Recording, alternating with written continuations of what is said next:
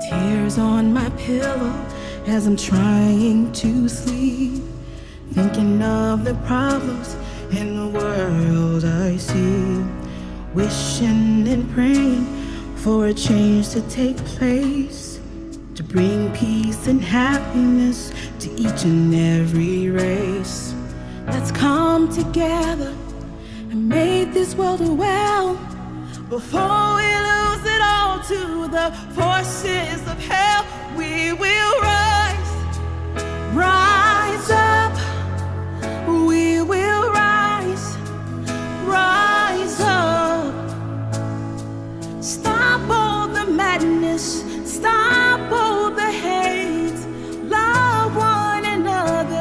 before it's too late. Enough is enough. Rise up. Oh.